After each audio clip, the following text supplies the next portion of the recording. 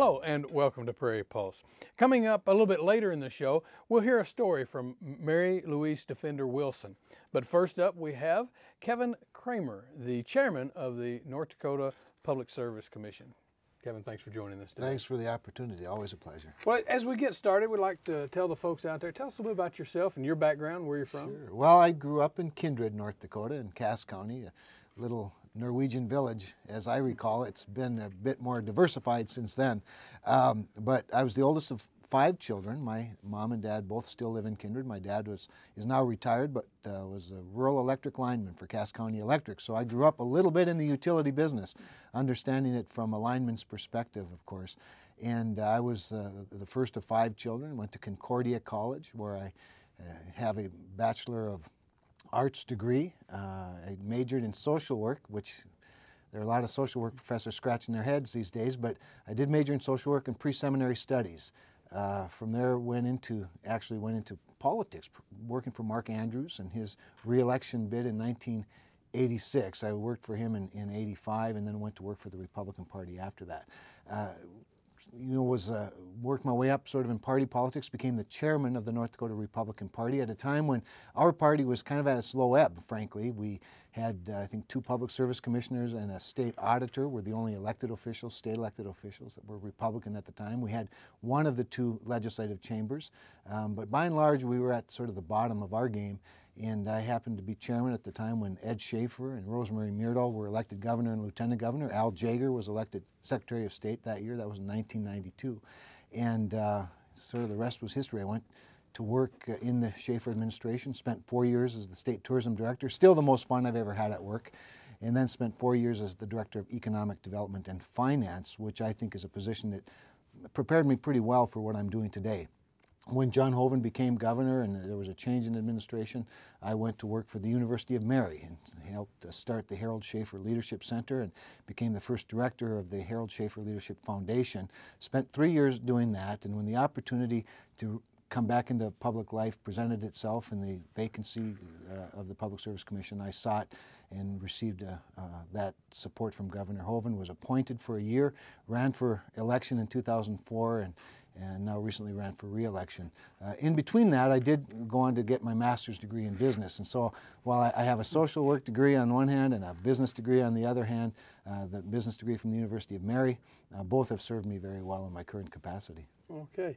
Well, then, uh, what does, let's start off with the definition. What does a public uh, service commissioner do in North Dakota? Well, he does a lot these days. Uh, you know, it's sort of cyclical, but we have very broad authority as a commission, much more so than probably any uh, regulatory body or utility regulators in the country. We first of all have the traditional utility regulatory oversight of the investor-owned utilities where we set rates for gas and electric uh, in investor-owned utilities.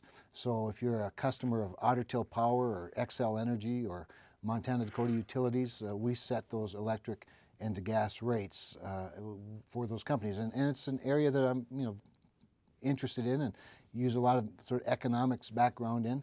Um, but it's also kind of pales in some respects in comparison to many of the other things we do. We have very broad oversight, uh, regulatory oversight of siting energy conversion facilities. That is to say, power plants, uh, wind farms, um, even things like gas processing facilities, which frankly we have two right now, open dockets on, on gas processing facilities in western North Dakota, and refineries that refine 50,000 barrels or more per day of uh, hydrocarbon liquids. So we've been doing a lot of siting. We also have uh, siting oversight of transmission lines, both electric as well as oil transmission lines, which of course includes pipelines, as well as CO2 lines and, and other types of, uh, of liquid products. Well, and we're going to try to get into more Sure. detail with those a little bit later on, but as you serve as chairman, uh, maybe describe the makeup of how, Sure. how the commission. Well, is. we're a three-member commission, uh, which is pretty traditional, although some states have five and some have as many as seven. We're an elected commission, which is a little bit unusual, but even more unusual, we're uh, all three elected on the statewide ballot and on the partisan ballot. So every two years, one of the seats being occupied by a commissioner comes up for election. And I, I state that very carefully because some people tend to refer to seats as theirs. These are not our seats, but rather we occupy them.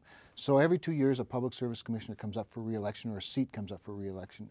And, uh, and we have a statewide election. So the three of us, you know, anytime there are two of us, of course, there's a quorum. We're a very transparent and very open commission, and all of the decisions by the commission, including hiring decisions, are done with a quorum of the commissioners. Okay, and of course, you recently won uh, re-election over uh, Brad Crabtree.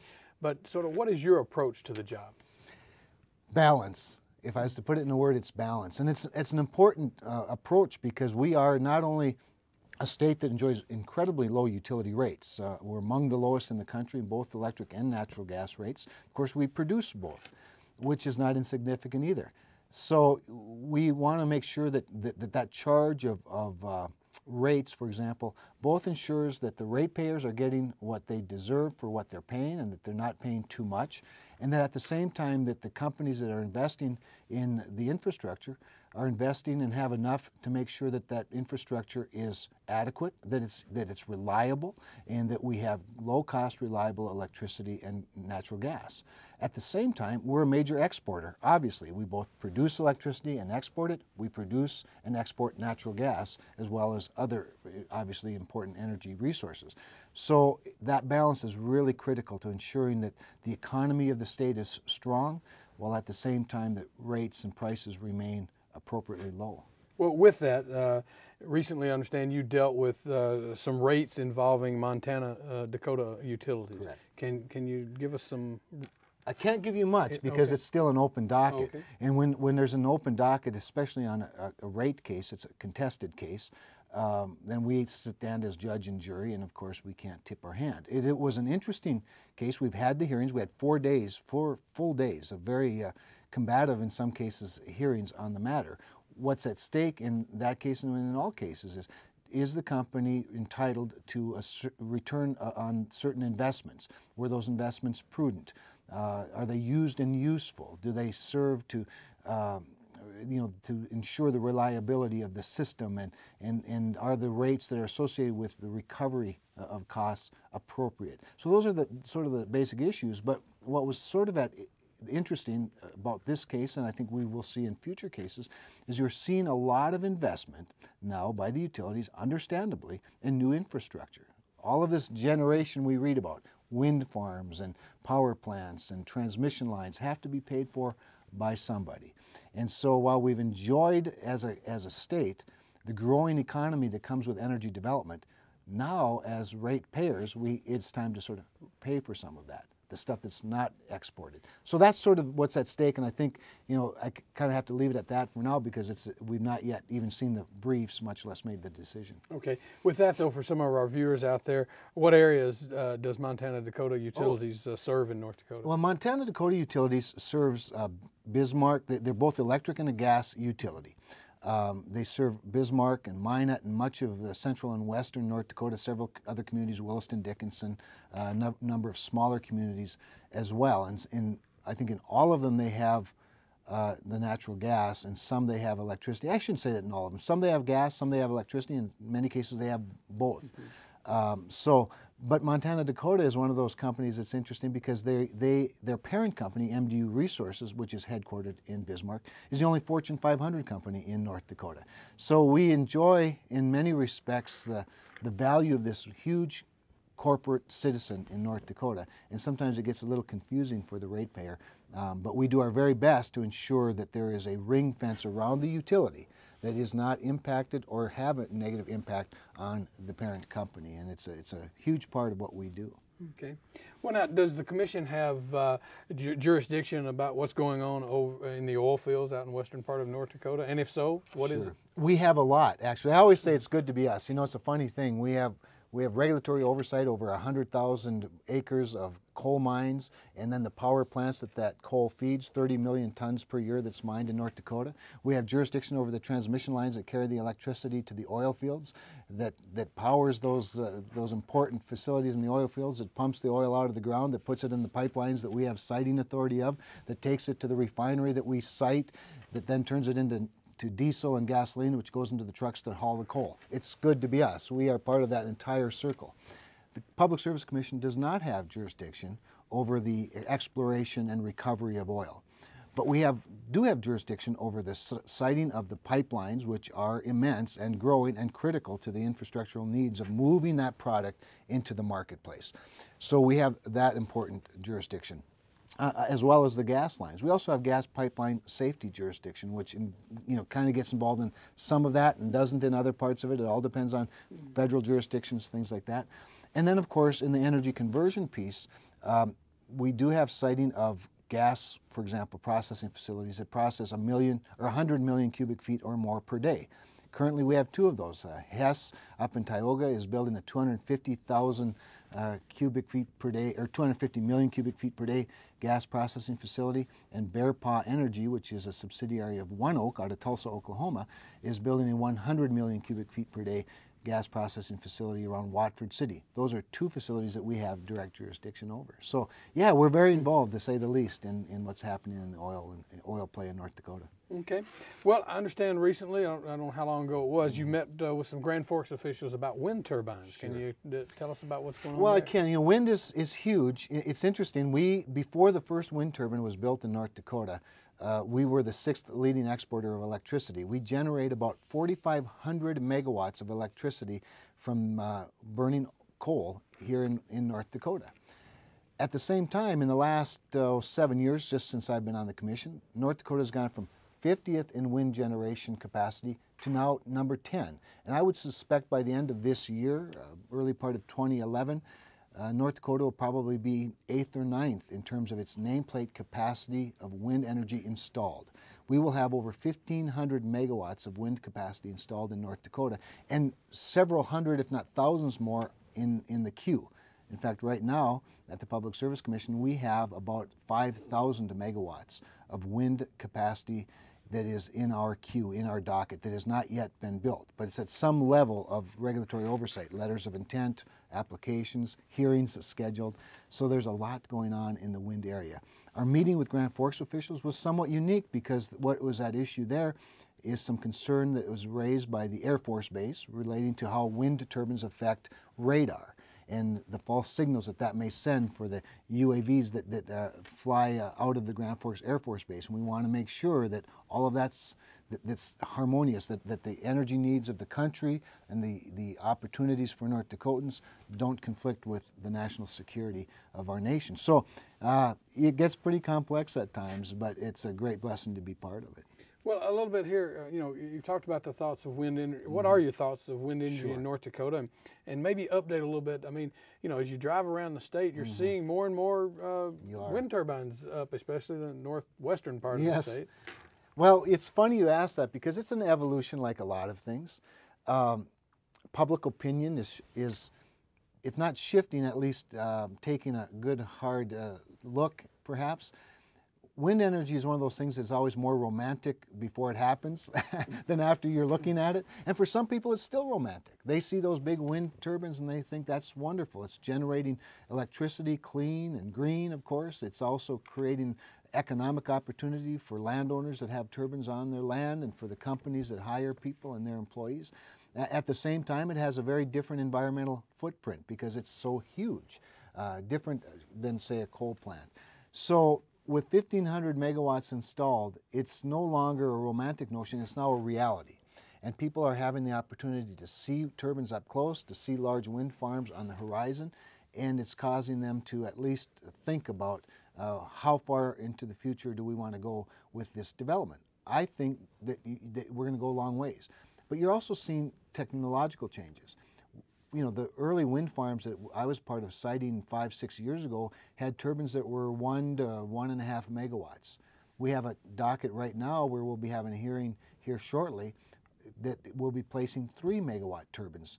And when you start seeing the larger turbines and different technologies and they're more efficient and more productive, it starts making more economic sense. And that's why some people who, and will continue to be critical of the investment that the government has made through tax credits and whatnot, may at some point see that that investment pay off because whenever you invest, and it's not unusual for the government to invest in sort of early stages of development of technology, eventually perhaps that technology catches up and then starts making economic sense. So, you know, I, I remain still bullish, I guess, on wind energy.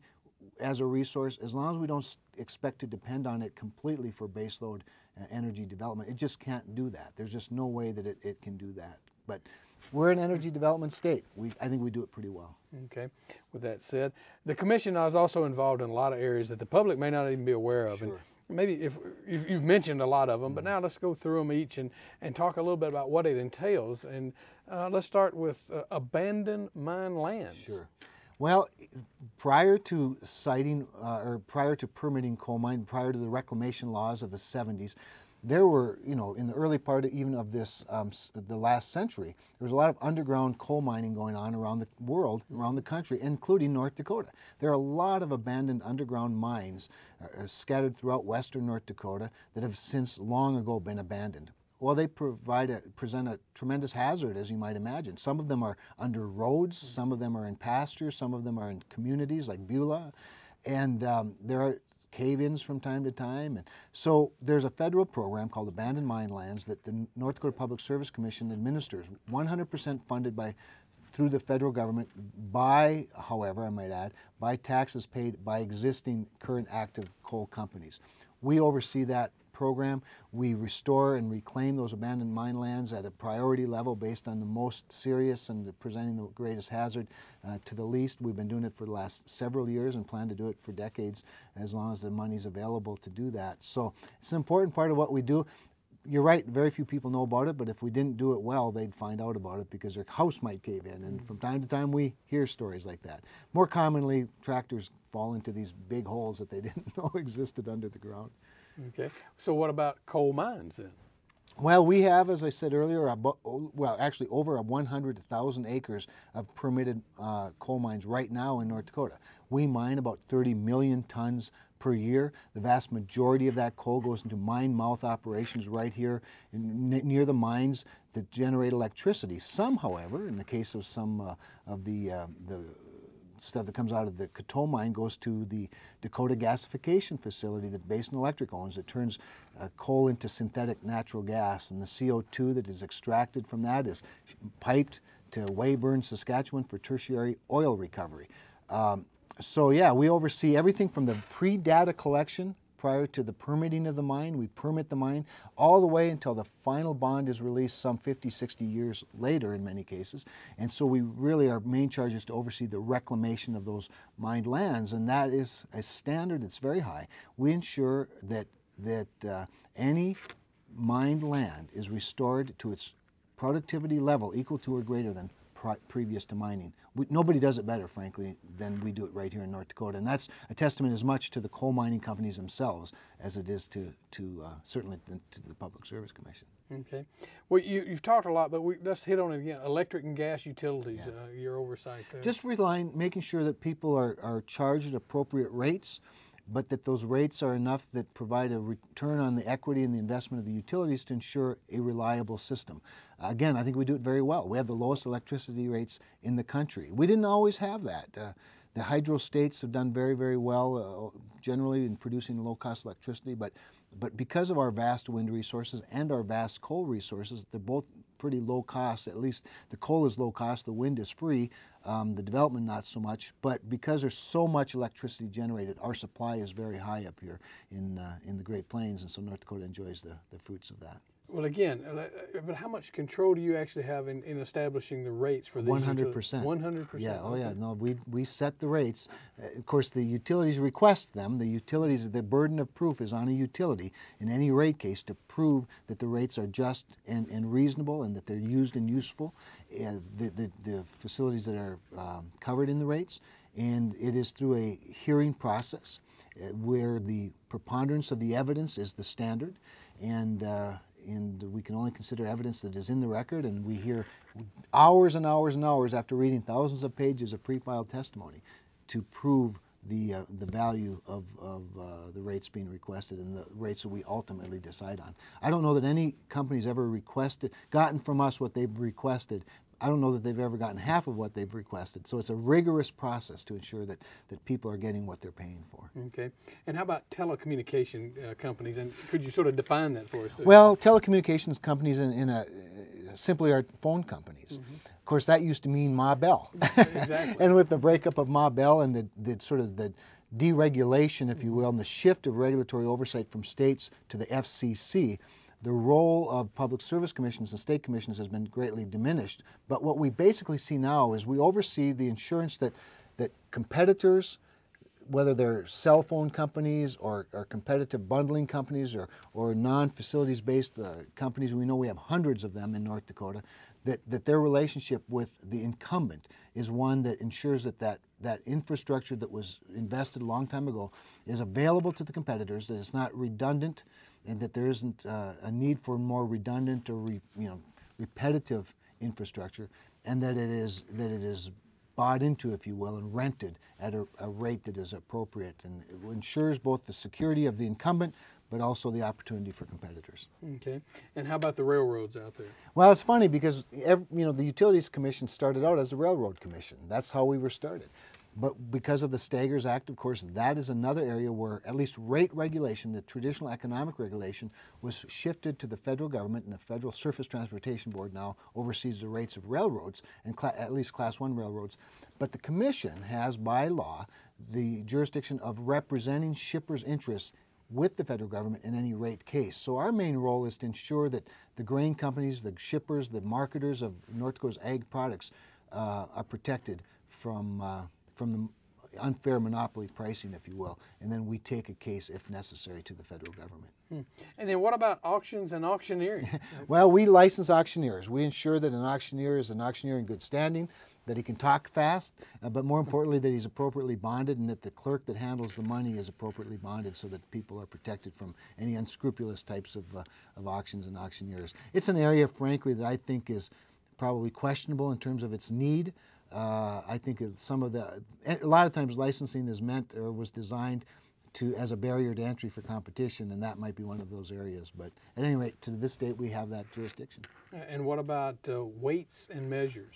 Well, we ensure that a pound is a pound at the grocery store and that a gallon is a gallon at the gas station. And mainly it's to ensure that, again, in, that consumers are protected and that there is a traceability, if you will, of, of measurement standards into the international marketplace. If you're selling a product internationally, the people at the other end want to make sure that that standard is traceable, that they're getting a pound, that they're getting a ton, that they're getting a bushel, whatever it is that they're paying for, that that's what they're getting. They need to have that assurance. So we have a we have inspectors that go out and make sure that that a pound is a pound and that a gallon is a gallon in, in simple in sort of a simple explanation. And then uh, grain elevators? we license yeah. grain elevators as well and ensure that that our producers and anybody that would sell to a grain elevator is as protected as they can be. So uh, part of that licensing is making sure that that the capacity of that elevator is appropriately bonded. We also then oversee the, what's called the indemnity fund, which ensures that, that, that's a fund that is that we actually control, that is paid into by uh, by producers, and that that anybody that ha- that doesn't sell grain on cash, that is to say that they, they would sell it on what's called a credit sale contract, terms of greater than say 45 days, has an insurance policy should there become an insolvency of that elevator. So basically, we're just ensuring that producers are, are as protected as they can be. If people want more information, where can they go? Well, the best thing they should do is just go to nd.gov and, and look under the Public Service Commission's website. There's a ton of information, probably more than most people can, can deal with. But I always say we do we think we do our jobs pretty well, and if most people don't know what we do, but if we did it poorly, they'd know. Kevin, thanks so much for joining us. My pleasure. Thanks for the opportunity. Stay tuned for more.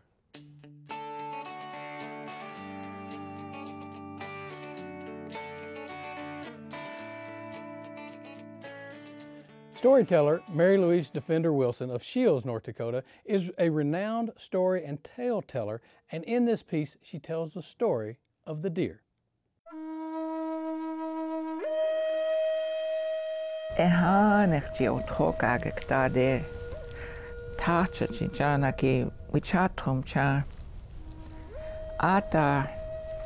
Owa owa jepina na hatach jana mnapi.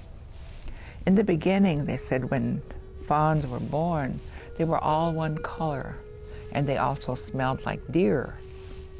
And on this particular day, while doe was looking at her fawn, and she was feeling so sad, oh, she said, Ini she said, you poor thing, you may never grow up. Here all of a sudden the wind blew and the deer thought, this is a very different wind. I wonder what, what it means. But she was standing there looking at her fawn. And all of a sudden the wind spoke to her and said, I know that you're feeling bad about your child, so I'm going to help you. Dig some prairie turnips, these grow all over, and peel them. And take that and sprinkle it on your child's back. So the doe did that. And the wind came and blew, and the white spots then were imprinted on the fawn's back. And then the wind also told her, and I will take away that smell of the deer until it grows up and is able to run. So that is then how the deer are able to live. Well, that's all we have on Prairie Pulse for this week. And as always, thanks for watching.